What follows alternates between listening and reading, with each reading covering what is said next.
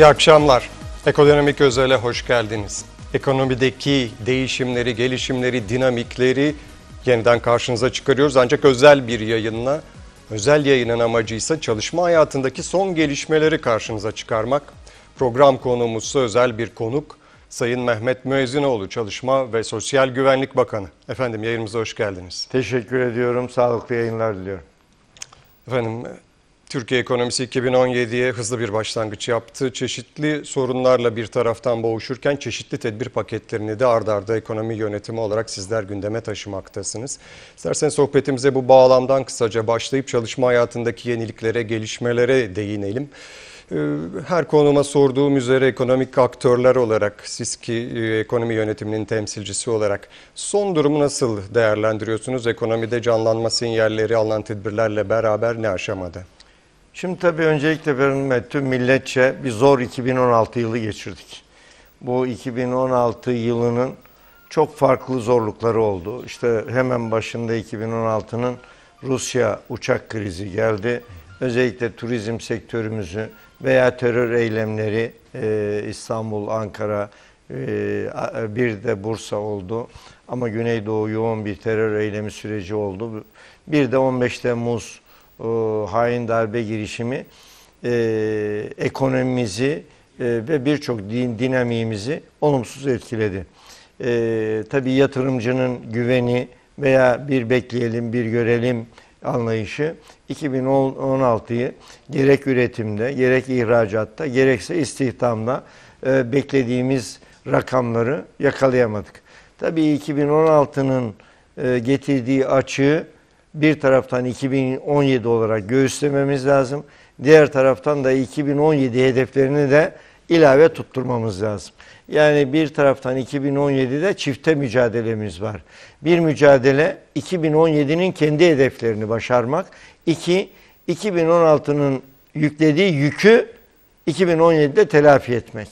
Yani e, bunu işsizlik oranlarındaki artışlara baktığımızda özellikle 2016'nın Temmuz ayından itibaren böyle devam ediyor. Şu anda Kasım ayının rakamı, Aralık ayının rakamı Şubat ayında e, gelecek. 3 ay sonra geliyor rakamlar.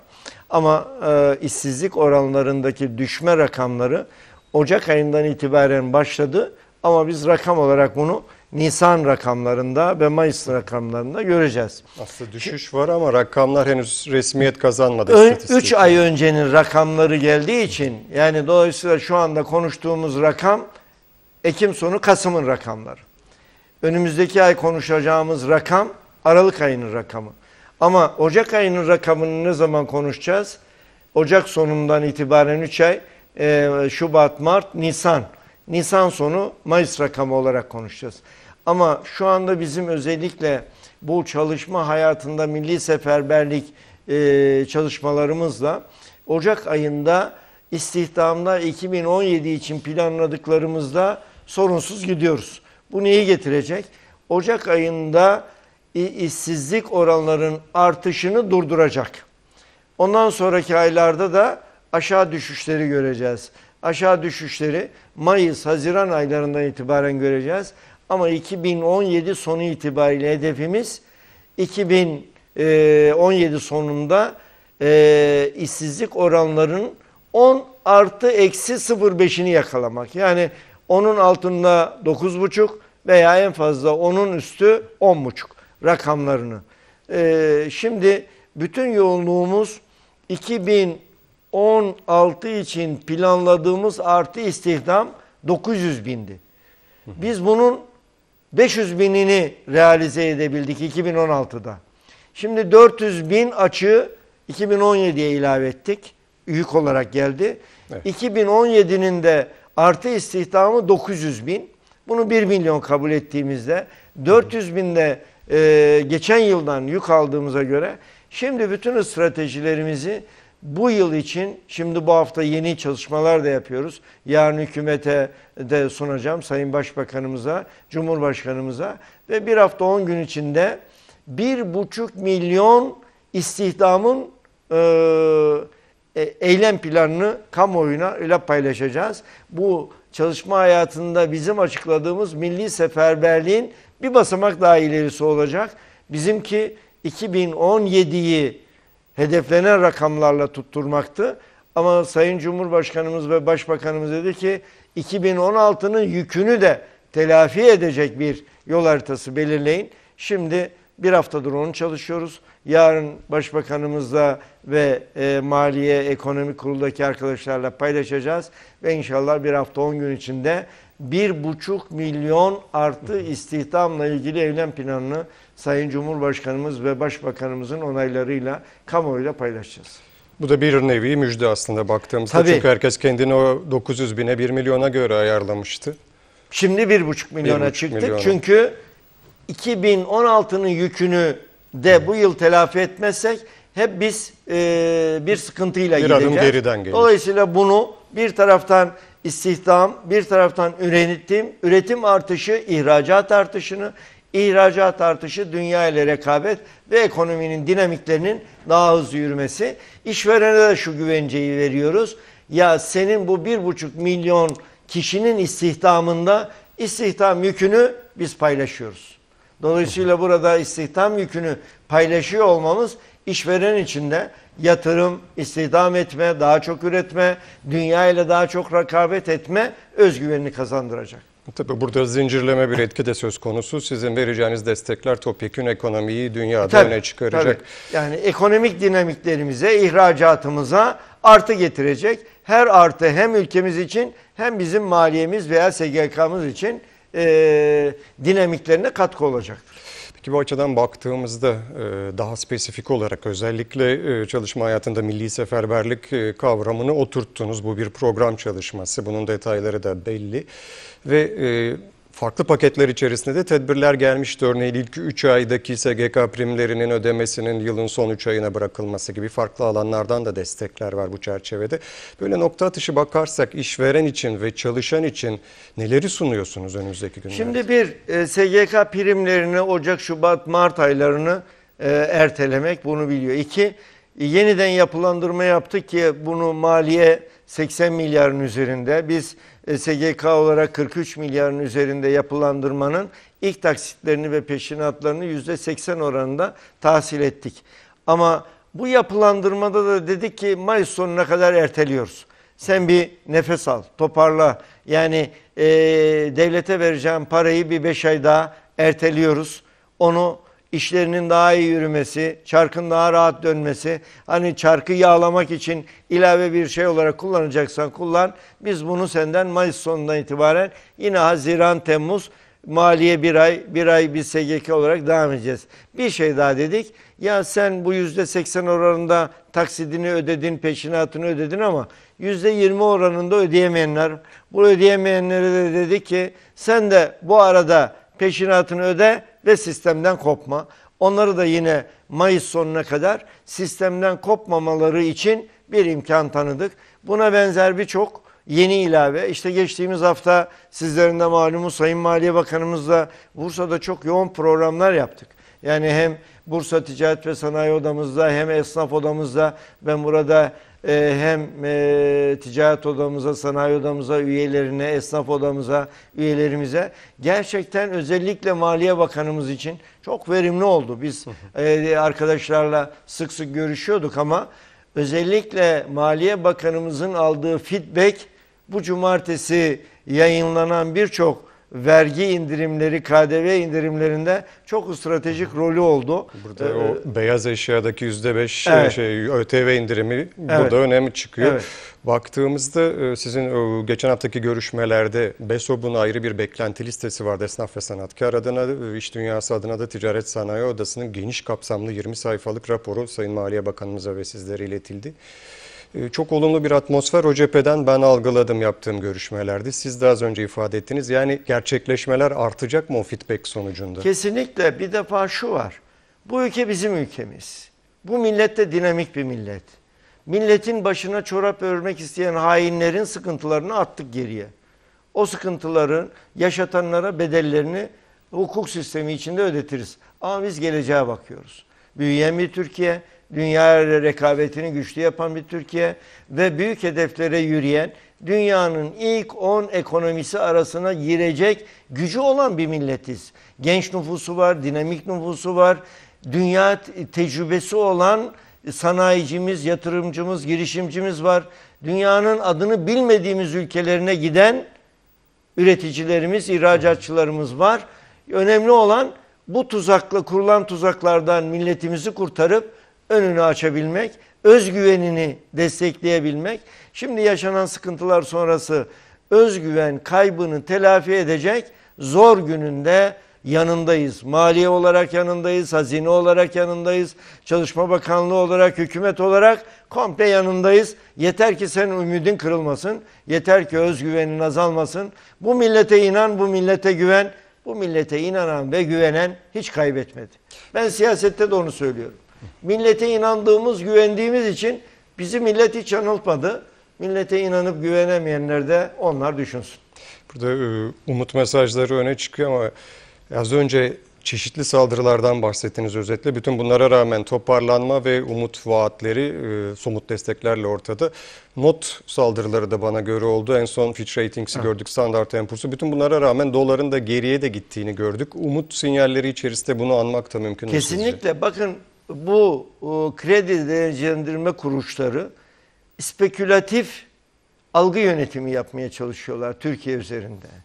Ama Türkiye'de son 15 yıla baktığımızda çok güçlü bir ekonomik sistem var. Ama bunun arkasında ne var? Çok güçlü bir siyasi irade var. Onun arkasında ne var? Bu siyasi iradenin arkasında duran bir millet var. Zor gününde canı pahasına sokağa çıkan, canını şehit olarak bu milletin kaderiyle oynamak isteyenlere hayır diyen bir millet var. Siyasi iktidarın bir borcu var. Niye? Millete. Milletin hak ve hukukunu koruyacak. Yanlış yapanların yanlışına dik duracak. Mağdur olanları da mağduriyetten veya sıkıntıya düşenleri de sıkıntıdan ve mağduriyetten koruyacak. Ve bu savaşı çünkü bir savaşa dönüştü artık bu. E, dü- Dünya ve gelişmiş ülkeler birçok güç oda Türkiye'nin ilk 10 ekonomi arasına girmesini istemiyor. Türkiye'nin dünya şekillenirken ben de varım demesini istemiyor. Diyor ki dünyayı ben şekillendireceğim. Sana biçtiğim rolü de sen kabul edeceksin. Bu millet de büyük bir millet. Bana biçtiğin rolü değil. Ben kendime biçtiğim rolün peşindeyim diyor. Biz bu millet olarak muasır medeniyet seviyesinin üzerindeki bir rolü hedef olarak bu millet ve biz benimsedik. Bu hedefe 2023'te inşallah o dediğimiz süreci başaracak. Bu sürece de siz girmediniz ama bir atıfta bulunayım. Bu referandumdan çıkacak evet de çok büyük katkısı olacak. O zaman göreceksiniz doları. O zaman göreceksiniz o kredi kuruluşlarını. O zaman göreceksiniz bu milletin yeniden o özgüveniyle geleceği güçlü yürüyüşünü. Çok kalmadı iki buçuk ayımız var. Sabır ve azimle, cesaretle devam. Evet buradan önemli umut mesajlarını paylaşmaya devam ediyorsunuz. Pratik açıdan baktığımızda işveren ve çalışan için örneğin e, iş arayan insan iş kura gittiğinde nelerle karşılaşacak veya işverenler sizin desteklerinizden birebir nasıl faydalanacak? Şimdi bakın ben dün İstanbul'daydım Feridun Bey.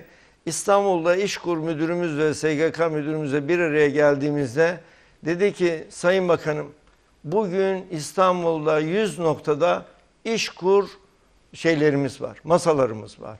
AVM'lerde, halkın hareketli olduğu noktalarda diyoruz ki iş arayan kardeşime. Ya biz bir yıl süresince asgari ücretin yarısı kadar ücretini işkur olarak biz ödüyoruz. De ki ey patron, ey işveren ben asgari ücretin yarısı benim cebimde. Senden talep etmiyorum. Alın terimi, gönül terimi, akıl terimi sana dökeceğim. Bunun yarısını da senden istiyorum. İki, ikinci yılda yüzde yirmi beşini vermeye devam edeceğiz.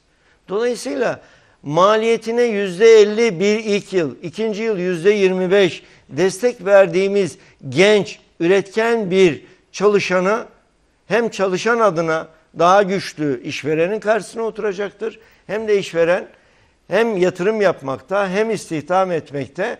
E yarı yarıya istihdam maliyeti düşmüş bir yıl süresince. Dolayısıyla bu artı istihdamlarda özellikle iş kurlarımızı çok yaygın değerlendirebilirler. Bugün henüz işkur e, görüş e, gördüm de görüşemedim. İki müdürümüzle göz göze geldik ama oturup da değerlendirme yapamadık. Bursa'da da iş kurun her noktasında e, iş arayan kardeşlerimiz veya işçi çalıştırmak isteyenleri buluşturacak noktaları e, Bursa'da da rakam veremeyeceğim ama e, farklı rakamlarda kuruyorlar. E, biz de TOP'la Türkiye Odalar ve Borsalar Birliği ile Türkiye genelinde o ticaret sanayi odalarının olduğu 252 noktada devamlı bir e, masa kurduk ve orada devamlı e, işçi işveren çalışan arasındaki danışmanlığı yapacak uzmanlar 252 noktada görev yapıyorlar. Ve anladığım kadarıyla oluşturmakta olduğunuz yeni daha genişlemeci programla bu destekler de artacak. Yani 1 milyon 400 bin kişiye ulaşmak üzere. E, bir buçuk milyon diyoruz biz ona. Yani Sayın. Başbakanımızın, Cumhurbaşkanımızın talimatı o.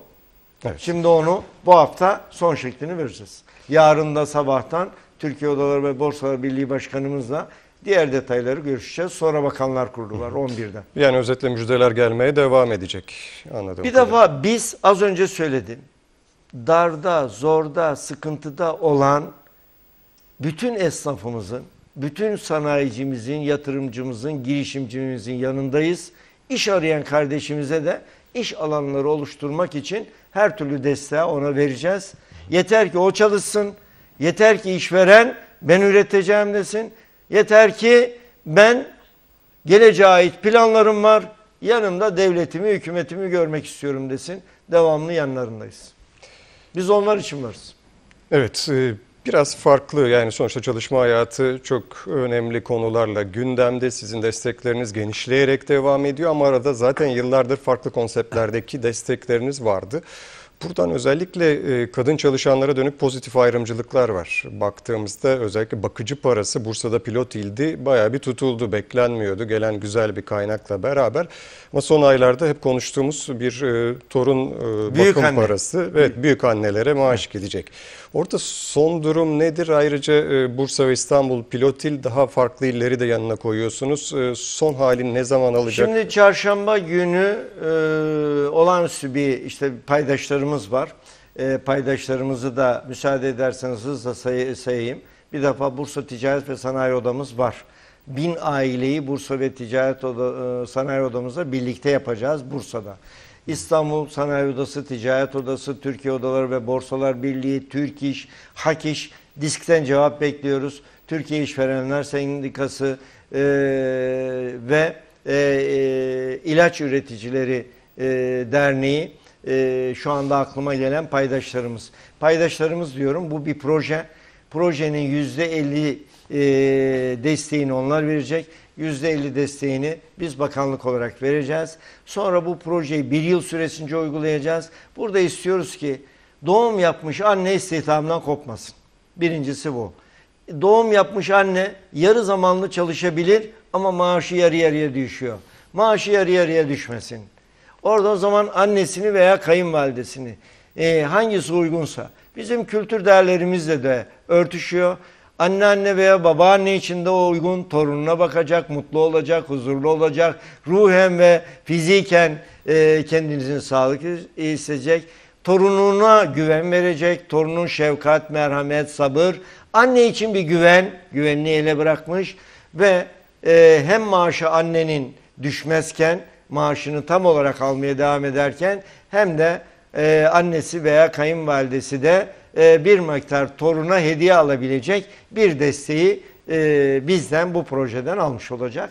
Burada da rakam olarak şu anda asgari ücretin %30'u gibi yani yaklaşık 420-420'li rakamlar onu çarşamba günü son rakamlarını paydaşlarımızla e, netleştirdikten sonra birlikte protokolleri imzalayacağız. Kamuoyuna da deklar edeceğiz. Aile ve Sosyal Politikalar Bakanlığımızla birlikte yürüteceğiz. Çünkü bunu bir hükümet projesine dönüştürdüğümüzde bu Aile ve Sosyal Politikalar Bakanlığı'nın uhdesinde bir proje olacak. Peki burada e, herhalde başvurular çok yoğun olacaktır. Belli kriterler de muhakkak olacak. Onlar da netleşti mi yoksa çarşamba mı? Şöyle ilkesi olarak diyoruz ki yani anne iki asgari ücretten fazla e, maaşı olanlar değil bu projenin içinde iki asgari ücretin altında olan anneler olsun. Anneanne veya babaanne çocuğa bakacak sağlıkta olmasın olsun ki yani e, yaşı veya sağlığı nedeniyle kendisine bakma durumu yoksa o tabii ki e, doğru olmaz. Yani gerçekten çocuğa bakması değil mi? Gerçek tabii annenin istihdamdan kopması ve çocuğu o 8-10 saatlik sabah evden çıktı eve geldi. 8-10 saatlik sürede haftanın 5 gününde o çocuğun o ihtiyaçlarını karşılayabilecek dinamizminde sağlık e, dinamikleri olsun yaşıyla veya e, sağlıklı olmasıyla. Dolayısıyla o kriterleri de kamuoyuyla çarşamba günü tüm detaylarıyla paylaşacağız. Ve bir de istiyoruz ki yaklaşık 7 paydaşımız var.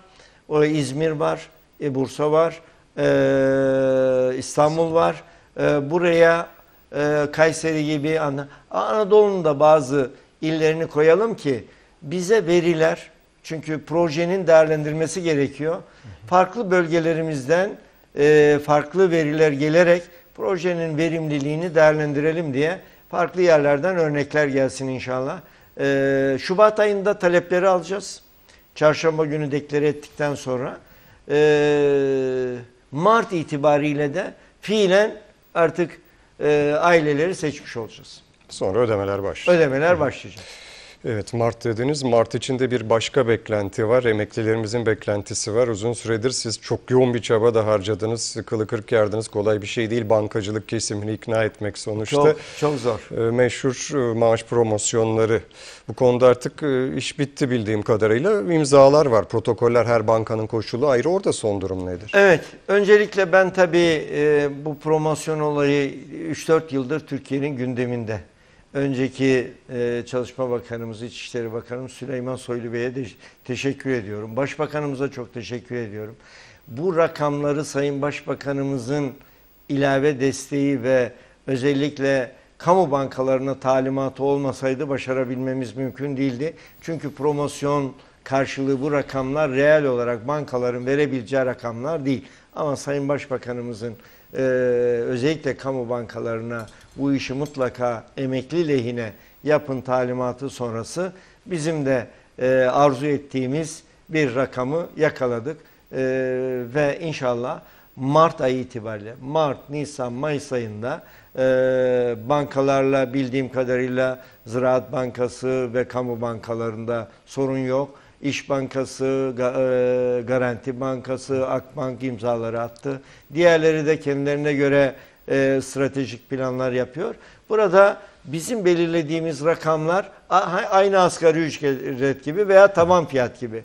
Bunun altında veremezsin. Ama bazı bankalar bazı gruplara daha cazip teklifler sunacaktır. Ee, bizim emekli gruplarımızda gerek emekli maaşının durumuna göre, gerek yaş durumlarına göre, gerek ikramiye pozisyonlarına göre bankalar onlara farklı e, cazip olabilecek teklifleri değerlendirecekler. Sonra da benim 3 yıl süresince seçtiğim banka bu diyecek.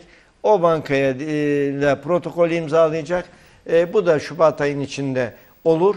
Ama bazıları emeklilerimiz ya dur bakalım ben daha iyi teklif sunacak bankada çıkar mı diye beklerse o zaman tabii ki e, o protokolleri onların bireysel protokolleri marka sar, e, sarkabilir. O tabii bizi aşan ama bizim yaptığımız protokol şu Mart ayı itibariyle kamu bankaları ödemelere başlayacak. Nisan Mayıs'ta da bitirecek.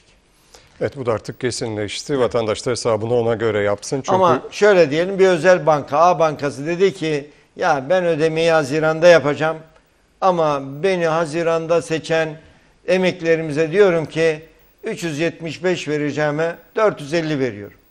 Bunu diyorsa emeklimiz de onu bekliyorsa o emeklimizle banka arasındaki bir iletişimdir, hukuktur. Biz ona yani karışmayız. burada da demokratik bir hak var, Tabii, seçim hakkı var. Serbest piyasa ve rekabete açtık. Dolayısıyla burada tatlı bir rekabetten inşallah emeklilerimiz daha kazançlı çıkar. Evet her kesimin e, belli oranlarda kazançlı çıkacağı bir dönemdeyiz. Belli vergi indirimleriyle de beraber neticede ekonominin de canlanması, kazanması için önemli bunlar. Sona sakladığım bir soruyu da az önce çok kısa değindiniz ekonomik değerlendirmede. E, Son dakikalarda referandumun böyle e, özellikle ekonomi üzerinde hızlandırıcı etkisinden genel anlamda bahsediliyor ama şu ana kadar çok fazla ben sahnede görmedim ekonominin konuşulduğunu. Böyle satır başlarıyla birkaç konu neler değişebilir hayatımızda? Şimdi bir defa ekonominin en güçlü desteği istikrar ve güvendir.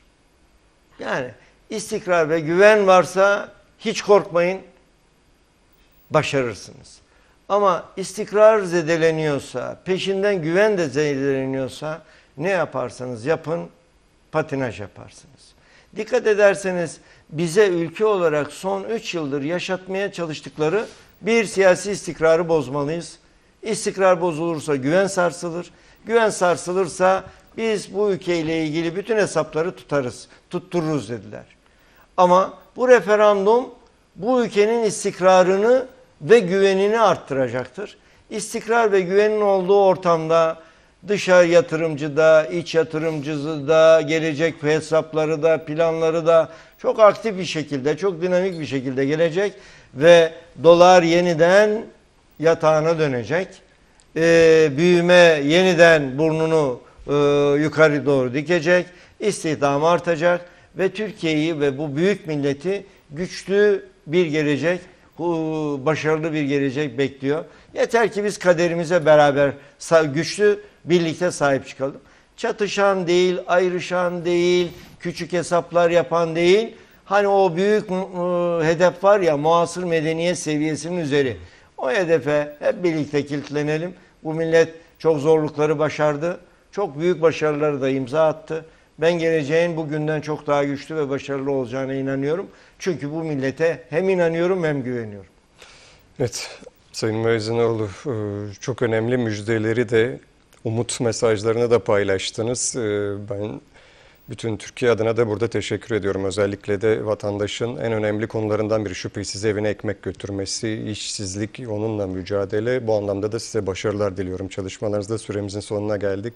Ben de çok teşekkür sunar. ediyorum. Tüm Olay TV izleyicilerine, bizi izleyenlere.